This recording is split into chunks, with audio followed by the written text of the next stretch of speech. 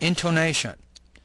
Another important aspect of intonation is determining whether a sentence has rising or lowering pitch at the end of the sentence. Listening Activity 1, determining the pitch in focus words. Listen to the following dialogue. Pay particular attention to the bolded focus word. Does this word have rising or falling intonation? John says, Do you have the keys? Mary, no, they're on the table. John, okay, thanks for telling me. Mary, no problem. I'm now going to the store. Which one? Sears. All right, when you get back, you can watch some television.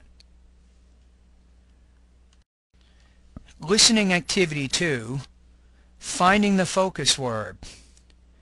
During a conversation, especially in the beginning, speakers will place prominent stress on the last content word in a sentence.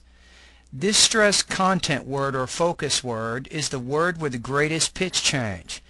Paying particular attention to the focus words, listen to the following sentences, then repeat the sentences after the speaker.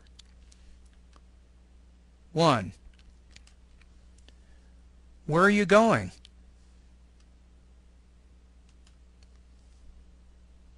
Two. She went to the store. Three. Whom is he talking to?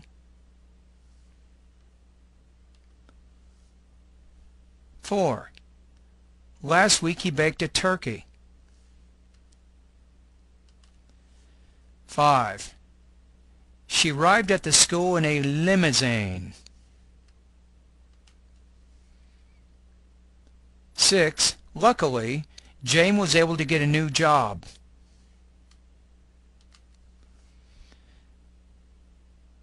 Seven. After four years of intense study, Kent has finally graduated.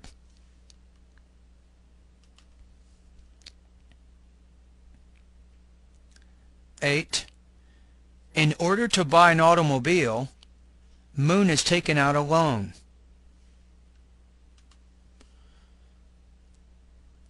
Nine. In Los Angeles last spring, Monchicha ran her first marathon. 10. Due to his getting a job in Colorado, Jack has decided to move. Listening Activity 3, Focus Words and New Information. When new information is mentioned for the first time, it will receive prominent stress. Previously mentioned information is backgrounded. Your goal in this exercise is to predict which word will be the focus word in each sentence. Then, listen to the speaker to see if you have guessed correctly. Finally, repeat the sentences after the speaker. Pause the video to make your predictions now.